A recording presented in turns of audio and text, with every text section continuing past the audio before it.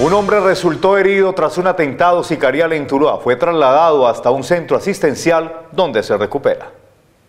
Sí, en el barrio Nuevo Holanda se presenta un lesionado con arma de fuego. Esa persona es una persona oriunda del municipio o de la ciudad de Medellín, disculpe, de 25 años de edad. Llegó hace aproximadamente un año acá al municipio de Tuluá se encontraba consumiendo bebidas embriagantes con otras personas cuando llega un individuo que está totalmente identificado por la Policía Nacional del sector de la Inmaculada, eh, le pregunta a esa persona qué, qué hace allí y posteriormente saca un arma de fuego y dispara en varias oportunidades contra la humanidad de esa persona.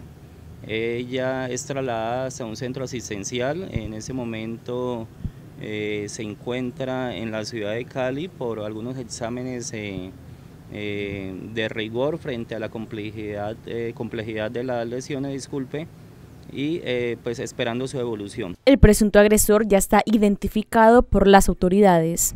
Entrevista en el lugar de los hechos, se trabajó en conjunto con el CTI también para la recolección de unos elementos importantes donde ocurrieron los hechos como tal y esperamos pues sacar una orden de captura contra esa persona que está plenamente identificada en el sector de la, de la Inmaculada y ya sabemos que se desplazó hacia otro municipio del segundo distrito.